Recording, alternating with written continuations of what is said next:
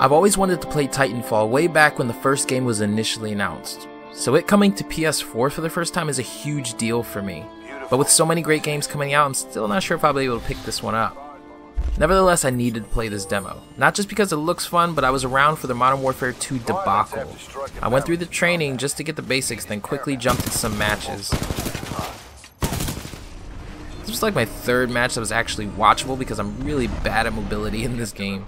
So in case you don't know the debacle I'm referring to, after Modern Warfare 2 released, my all-time favorite Call of Duty, both bosses of Infinity Ward, Vince Zampella and Jason West, were fired by Activision from Infinity Ward.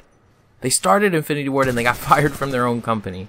A bunch of legal battles came after, which was really not pretty, but ultimately Vince and Jason started another company along with many of the Infinity Ward people that left to join them. And these were people with a lot of lead in their titles lead designer, lead programmer, things like that. So if you were wondering why all Modern Warfare since then seem to be missing a little something, a little magic perhaps, that would be the reason. So years later, again, they announced that they have a new company, Respawn Entertainment, and they're making a new game that looks a lot like Call of Duty in the future.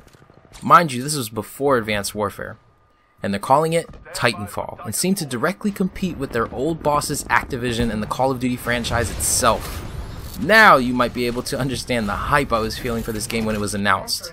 Unfortunately, they made a deal with Microsoft and only released on Xbox, which I understand it could be hard to launch a new IP successfully no matter how good the game might be. Overwatch is a good example of what marketing can do for a game. I'm sure we can all think of great games that just never see the light of day because of lack of marketing. But because it was only released on Xbox, I never got to revel in my hype, and it just passed by. Months after, the reviews were coming in, and many said that Titanfall was a solid game, but needed things like a single player campaign, more weapons, less Titans on the ground, etc. So now the sequel is coming out and it's on PS4. Has a single player campaign, new Titans, new mechanics. So I'm definitely excited and I'm really going to try and pick this one up. So, have you tried the stress test demo? What do you think? Did you play the first Titanfall? How does this one compare to the first one? Let me know in the comments below. If you enjoyed the video, be sure to share, like, and subscribe to the channel. My name is Chit, and I approve this message.